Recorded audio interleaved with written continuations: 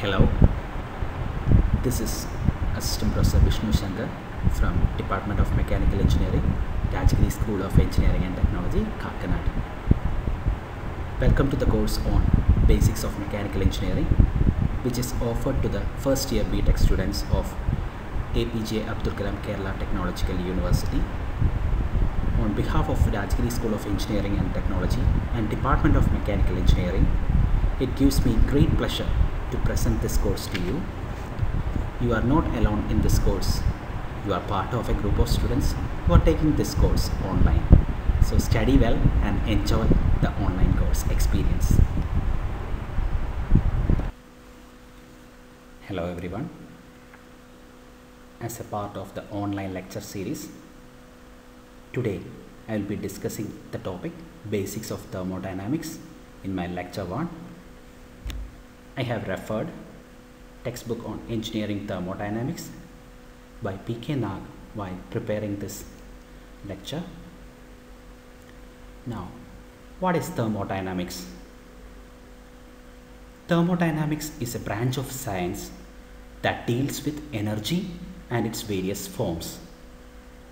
The name thermodynamics was derived from the Greek word therm means heat and dynamics means motion or power. Thermodynamics deals with the relationship among heat, work and properties of system which are in equilibrium with one another. Nicolas Leonard Sadi Carnot was known as the father of thermodynamics. Now, what are the applications of thermodynamics?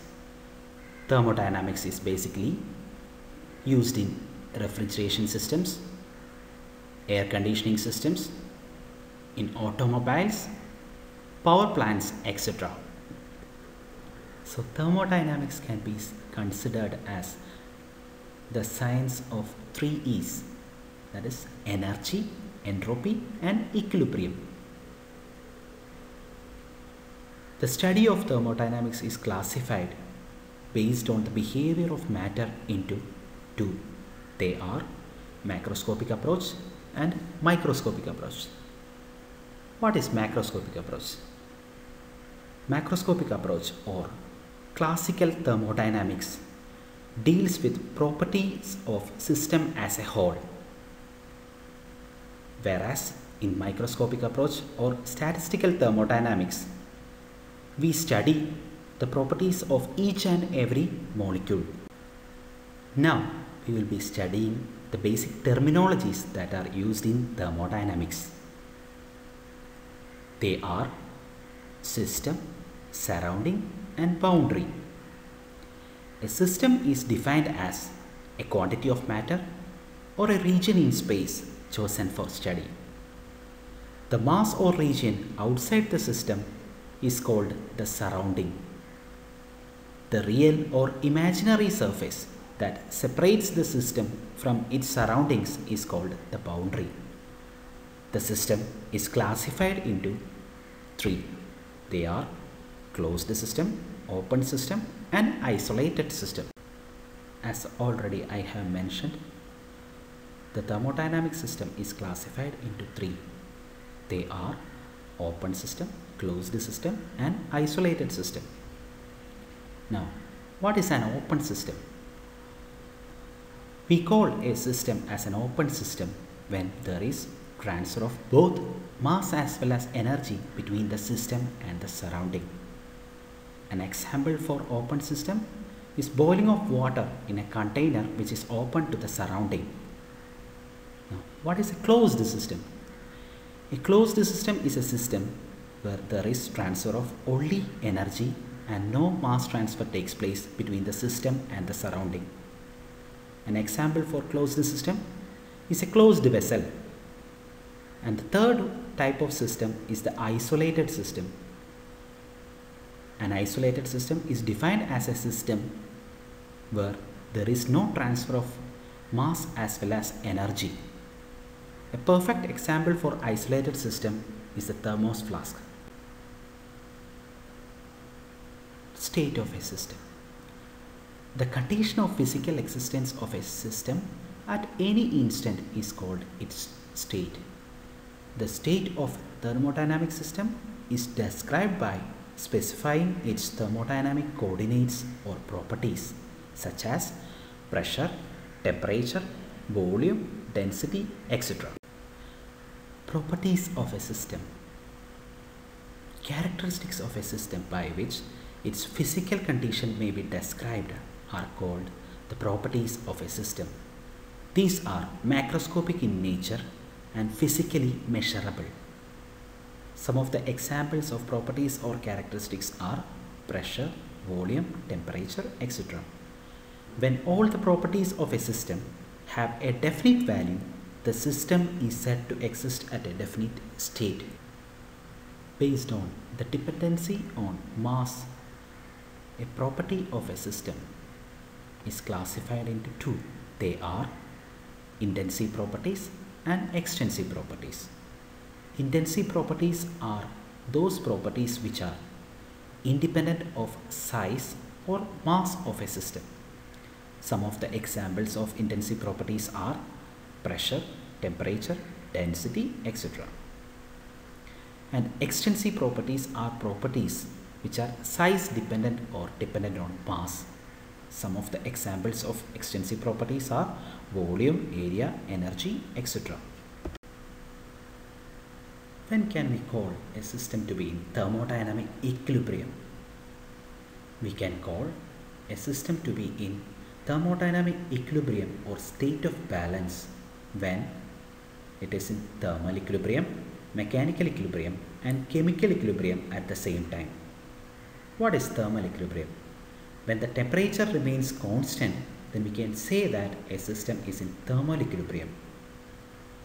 What is mechanical equilibrium? When the pressure remains constant or the net forces acting on a system is equal to zero then we call a system to be in mechanical equilibrium. What is chemical equilibrium? When the chemical composition remains constant or there is no chemical reaction occurring, then we call a system to be in chemical equilibrium. Process. Any property of a system changes its value, there is a change in state and the system is said to undergo a process. The process is basically classified into two. They are reversible or ideal process and irreversible process. We call a process to be reversible when a process occurring from 1 to 2 can be taken back from 2 to 1 without any change in the surroundings. And a process is called an irreversible process when the process occurring from 1 to 2 cannot be taken back from 2 to 1 along the same path.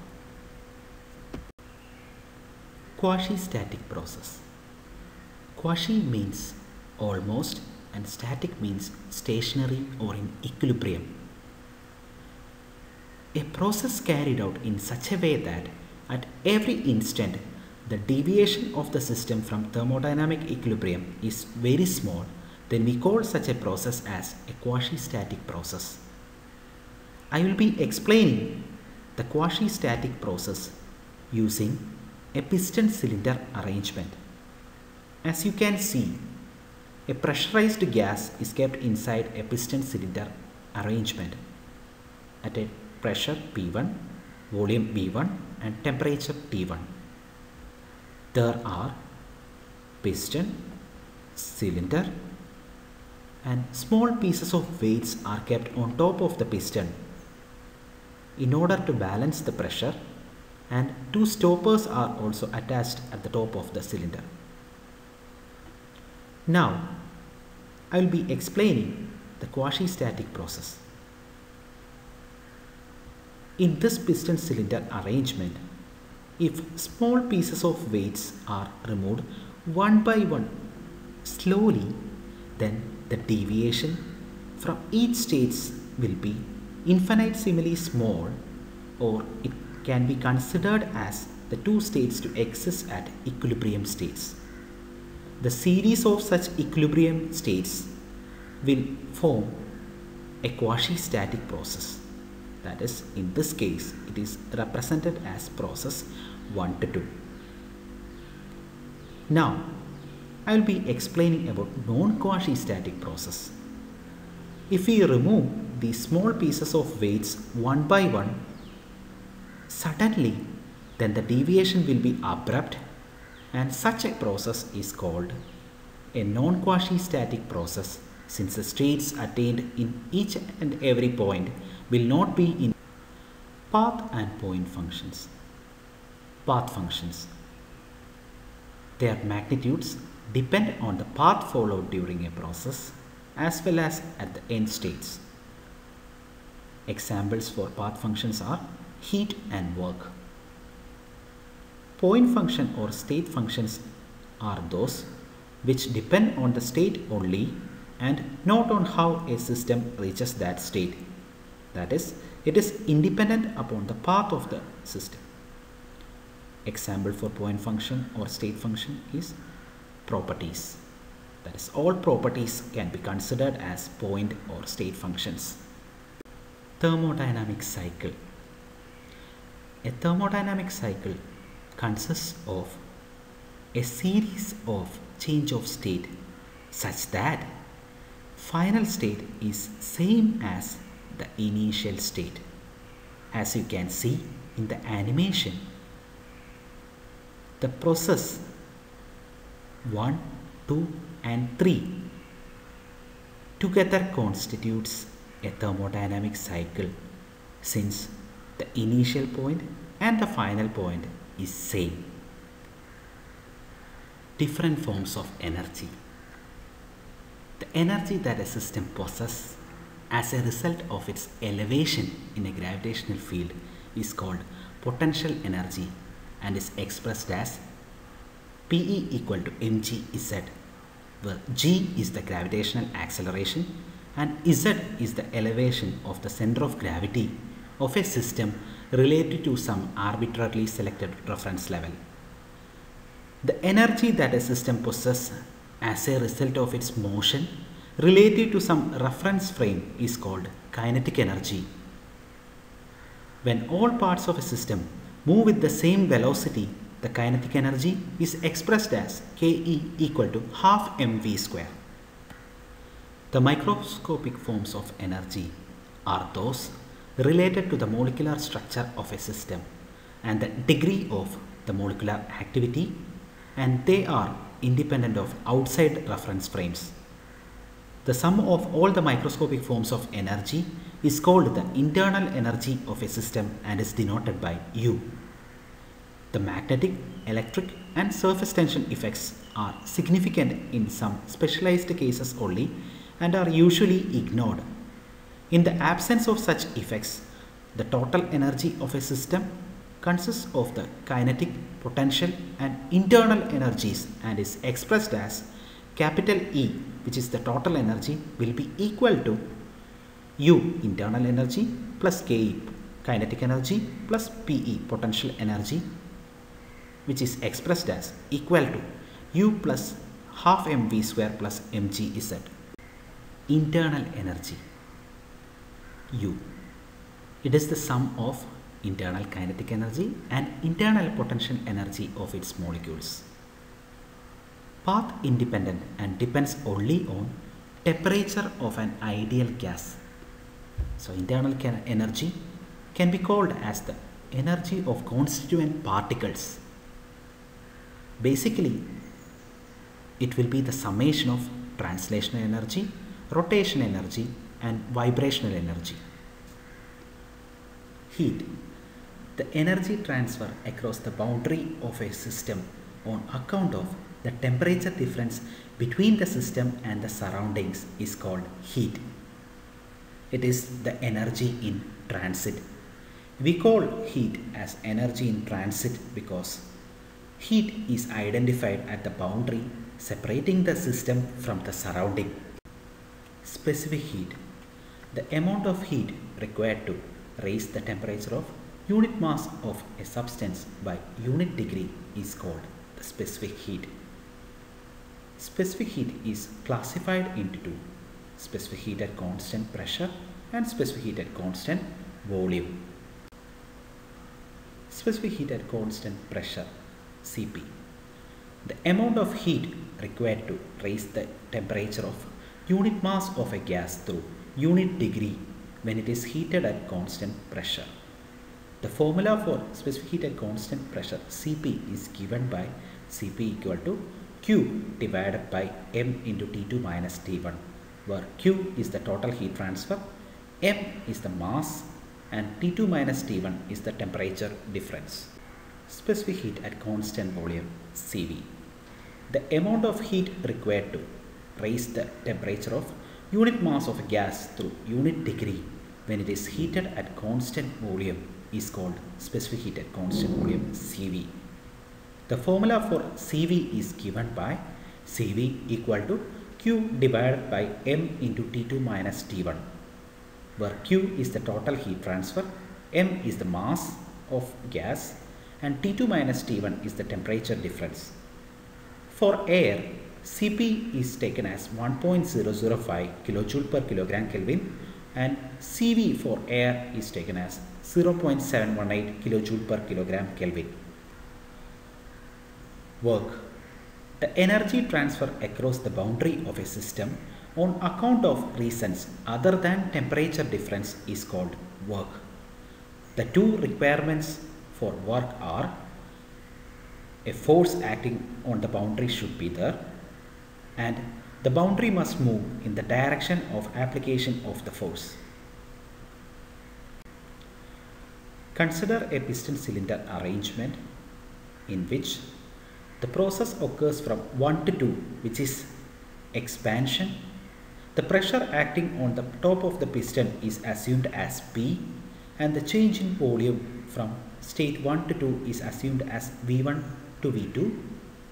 Then the work done is given as W equal to integral 1 to 2 P dV. The assumptions are the system should be closed and the process should be quasi-static. Some of the additional comments on heat and work transfer. Basically while using heat and work in thermodynamic problems, a sign convention should be followed. The heat transfer to a system is taken as positive because in this case heat is absorbed by the system or heat is gained by the system. The heat transfer from a system is taken as negative because in this case the heat is lost by the system. The work transfer to a system is taken as negative because the work is done on the system or in this case it is compression whereas work transfer from a system is taken as positive since the work is done by the system or the process is expansion. Coming to the end of the session, I would like to brief on the topics which were covered in this session. I think you must have understood what is thermodynamics, the applications of thermodynamics, various terminologies which are used in thermodynamics, the classification of systems, what is thermodynamic equilibrium, what is quasi-static process, and different forms of energy such as heat and work. You must have understood the sign conventions which should be followed while applying heat and work in thermodynamic problems. Hopefully you enjoyed the lecture and see you soon with the second lecture on laws of thermodynamics.